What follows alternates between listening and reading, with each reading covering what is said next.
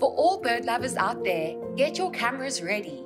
This is your chance to win a three night stay for four people at Awelani Lodge, next to the Pafuri Gate into the Northern Kruger National Park.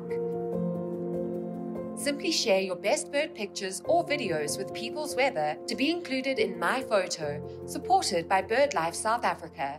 Enter now at peoplesweather.com and win.